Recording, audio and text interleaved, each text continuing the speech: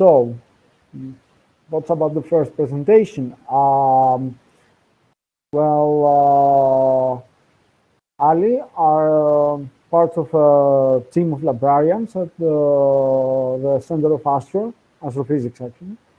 Uh, they're passionate about uh, public science education. Uh, you can call them as they. And uh, they will be talking about Metasat, which is uh, open, collaboratively developed uh, metadata tools to support the future space exploration. And they got the mic. Thank you so much. Should I wait a minute to get right to 810? I can start.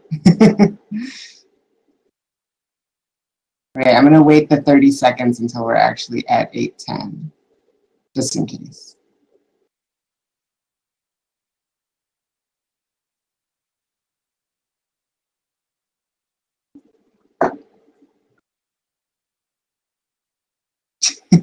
Thank you.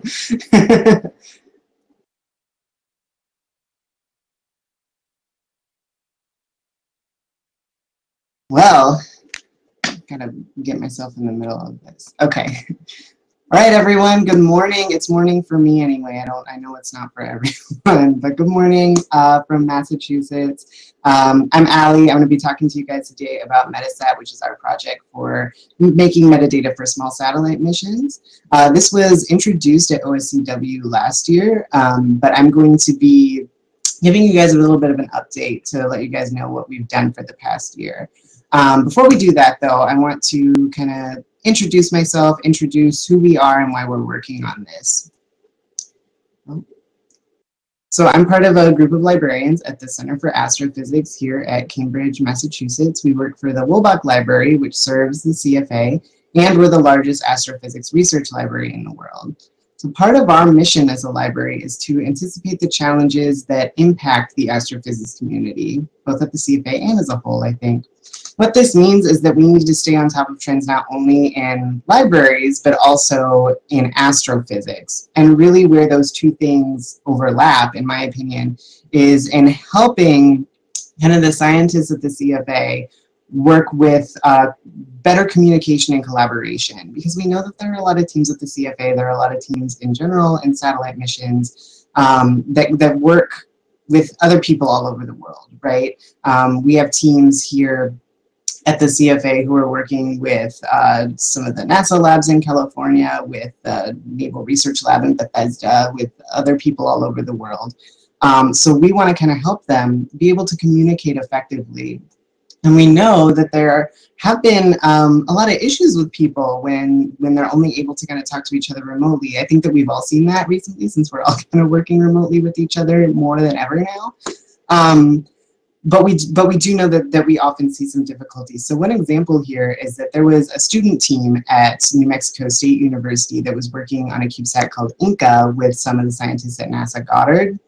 The scientists at NASA were building a part for the team at NMSU. But when the students at in, in New Mexico got the part, they found that it was actually a millimeter too big in every direction and did not fit in their CubeSat, right? Um, so they had to send it back and have it completely remade. And that costs a lot of time. It costs a lot of money. They almost missed their launch. They're very lucky that they didn't.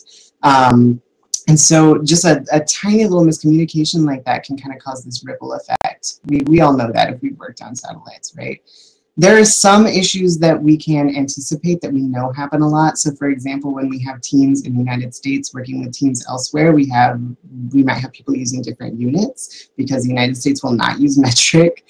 Uh, we spell things differently. You might have different terms and variable names for the same things. I mean, I have tutored students in physics before, and I have to tell them, you need to tell me what that variable is because I might have learned something completely different, right?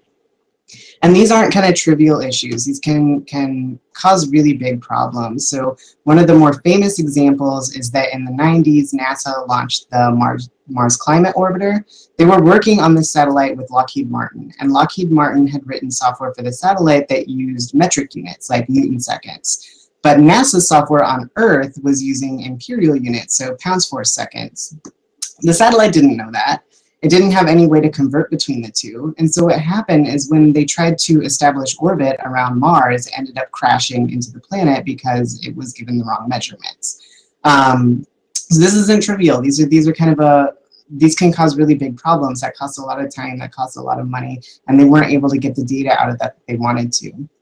So what we want to do is we want to at least do our small part in making sure that these kind of mistakes don't happen, or at least they happen less often, right? So that's where we come in.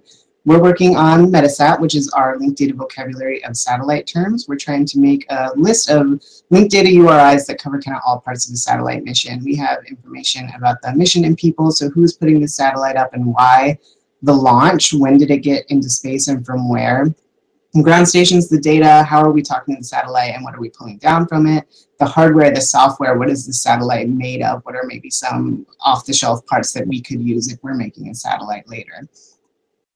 Because this is a linked data vocabulary, it can be used with any other linked data vocabulary like schema.org, and this makes it really flexible and extensible. And if you're not familiar with linked data, the W3C describes this as a collection of interrelated data sets on the web. What this does is it kind of makes data a little bit easier for machines to access, and um, as well as for data sets to kind of talk to each other, if that makes sense. So over the past year, we kind of um, had a had a few big things that we've done. So we have kind of three major parts of Metasat that we've worked on. We have our vocabulary of concepts. I wrote here that we have about a thousand concepts. It's more like 1,500 um, that relate, again, to all parts of the satellite mission. These aren't hierarchical. You can use them in any relationship that you want. We do have them grouped on our website by segments, so like launch segment, space segment, uh, ground segment, as well as different concept types, and I'll give you some examples of those uh, in a little bit. We also have a set of metadata crosswalks. These are tools that we can use to kind of match concepts between vocabularies. So if there are other linked data vocabularies, uh, dictionaries, we have multilingual dictionaries, for example, um, as well as other databases. We can link uh, between our terms and terms that other people are using. And finally, we also have a collection of JSON LD example files. You can use linked data in a lot of different formats. We're recommending JSON LD specifically because it's really easy to write, it's easy for machines to read, and it's very flexible. So what we've done is we have a set of files about real missions that are written in JSON LD to kind of inspire you guys to see what you can do with Metasat. So here's an example of a file that we made for a mission called Picard.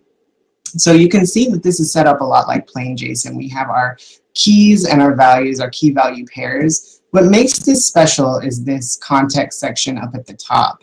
Um, you'll see that we have this line that the vocabulary is schema.space slash metasat. That's where all of our terms live. And so what happens is that if you have something like mission, that gets expanded into schema.space slash metasat slash mission, which is our concept for that. And you can see that on this file, we have um, just like a lot of information about this, what this is. So we can see that this is a solar science mission named Picard that's coming out of France. We have information about when it was launched and from where. We have information about the spacecraft itself. We have its COSPAR ID over here. We have its NORAD ID. Um, and more information as we keep going. So at the same time, this is just one example of how you can use Metasat and JSON LD to describe this mission. There are other things that you can do that's it's we try to be very flexible and we again these are just to inspire you to what you could do.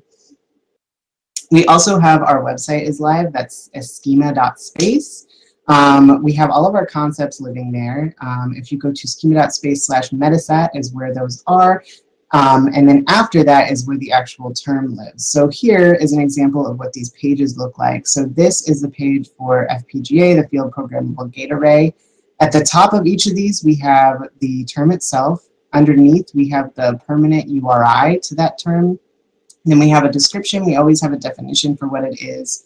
Underneath, we have examples and synonyms. Not everything has an example or synonym, but some do. And we do have the website set up so that if you search for a synonym, but we use a different term, you should still be able to find it by the synonyms.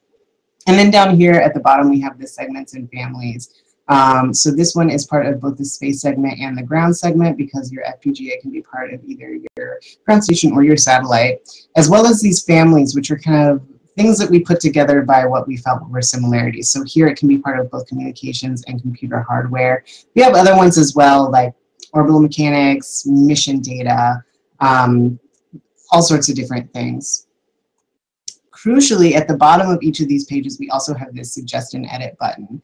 Um, we really do value everyone's feedback. If there's any um, way that you would change any of these, you can always click on this. Right now it's a mail to link. It might become a form in the future, but we always look forward to your feedback to us. The other thing that's on our website is that we have a resources tab up on the top that includes guides for people. So we're anticipating that people using Metasat will probably be familiar with satellites and space research, but they might not be as familiar with databases, metadata, RDF, that kind of thing, JSON LD. So we have a set of guides that we hope that you guys will find helpful. And finally, we have our first implementation of Metasat, which we're all very excited for. So yesterday at the SatNogs update, Freddie mentioned that Metasat is being used with the SatNogs API. Um, so this is kind of what that looks like. This is a screenshot from the satellite list API, and you'll see up at the top we have this context section that links to our Metasat vocabulary. Um, so if you ask for the the API specifically to give you JSON LD, that's what you'll see is it links to our Metasat concepts. There are also other people that we're working with too. So for example, we're working with Jonathan McDowell here at the CFA. You might be familiar with Jonathan's space report and GCAT, the General Catalog of Artificial Space Objects. He gets a lot of really good data about satellites, but it's and it's all public, but it's kind of hard to use sometimes. You can get it as a text or a TSV file. So we worked with him to actually crosswalk his terms to Metasat. Um, so, so we're hoping that we can make those a little bit more easily available by, by using it with Metasat. We also have a pending agreement with NASA. We want to work with them on their Small Spacecraft Systems Virtual Institute. They have a database called SPOON, Small Sat Parts on Orbit Now.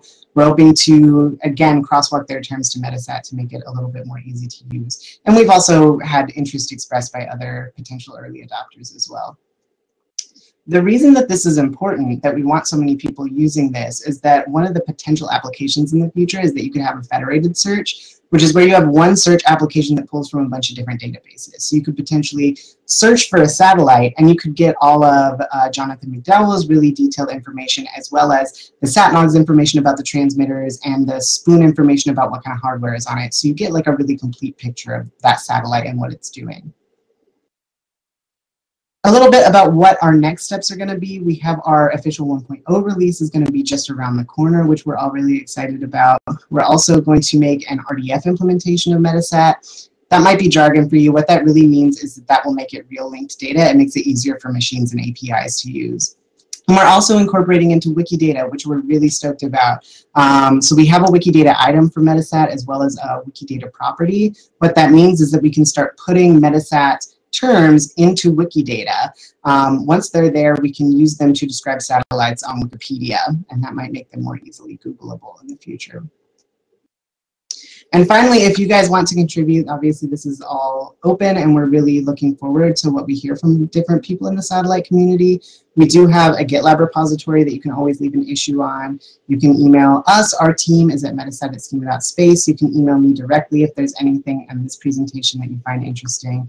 Um, in addition to giving us suggestions, you can also always ask for clarifications. Let us know what kind of topics are unclear because we are writing guides that we hope will help you guys.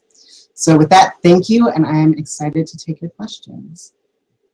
Awesome. Uh, please, people don't hesitate to come over and uh, ask your questions. Uh, you can also uh, use a chat uh, or you can use uh, our matrix channels.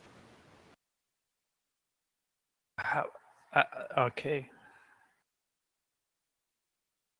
Um, will I upload my slides? I do want to upload my slides. Um, if someone would help me do that, I would love it. yeah, we will. We will upload them. Uh, okay. I look over it. I, I got one um, question. So, uh, as as a guy working on the Polaris project, so the machine learning uh, analysis for spacecraft, so we have a great deal of use for for you know metadata because we would like to learn what the temperature is reacting to. And then we want to see on other spacecraft if other temperature sensors are reacting the same. But for that we need some kind of a federated search you know like to be able to to go to other spacecraft and take those temperatures and just Right. just by by semantics you know like we want temperature parameters. That's what we, we that's how we want to search. The do, uh, for, for that to happen do, do you have uh, missions that are already uh, using metasat uh, uh, how do you see that multiplying you know people onboarding with with metadata uh, schemas We don't, as far as I know, have any particular missions that are using Metasat yet. Um, right now, the scope of Metasat is more to describe the satellite mission kind of as a whole, so what the satellite is and what it's doing. Um, having it actually have metadata for the data itself is definitely kind of a, I think, kind of a future, uh, something that we want to, yeah, have, have in the future more. okay then then may, we might come in and uh, contribute for that then okay Yeah, yeah, cool yeah. cool thanks Uh, awesome. I actually do have a question. Um, well, uh, as far as I understand, um, uh, space technologies are um, changing in a, a very fast uh, pace. And um, does uh, Metasat uh, have that uh, into mind when it was designed? So, in order to be future-proof, if you like. Yeah, so Metasat is very extensible. Um, right now, the way that it works is all of our terms are, they have permanent URIs, right? And we know that those, those terms might change in the future or they might have technologies that exist in the future that don't exist right now, for example. Um, we will never delete any of our URIs. We might deprecate them, if that makes sense. So, so any update to Metasat should not break any applications that you make. But we are working on one of the things that we want to have ready with our 1.0 release is kind of a versioning schedule so that we can kind of regularly make sure to solicit feedback uh, from the satellite community, figure out what what do you guys need, what are we missing, what can we add, um, what can be deprecated. So, so we're hoping that it will continue to change and evolve as uh, the field does. Yes. Awesome. Uh, also, um, for those that don't read the, the chat, um, Dana from the Metasat team uh, has said that uh, they are just getting started with uh, specific missions adapting, and they're still developing uh, tooling to make it easier for individual missions. So we look up to that too. Awesome. That was uh, really cool. Uh, any other questions? Let me see. Think there are any other. Um, so people stick around and we're gonna go to the next uh, presentation.